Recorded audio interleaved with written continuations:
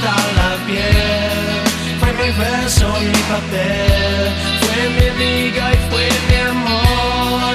Conocí a mi Señor como bola de cristal, me la jode.